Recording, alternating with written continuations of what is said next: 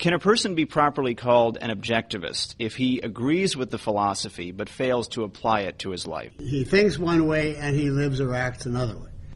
I would say there's a sense in which you could say yes, but in the deeper sense, you'd have to say no.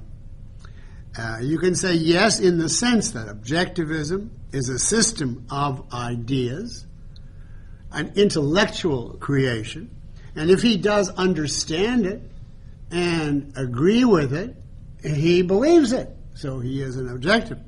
But if you say across the board as a way of life, he does not integrate this, so there's nothing to do with his actions, it has to be the case that he does not fully understand it.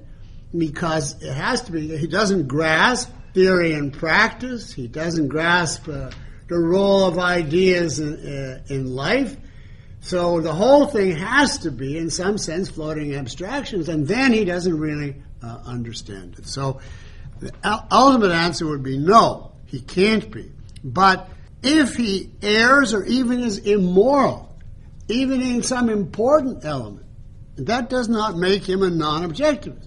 He could be a bad objectivist, an inconsistent objectivist, a half hearted objectivist, but if it's just simply nothing to do with his life, he's not an objectivist.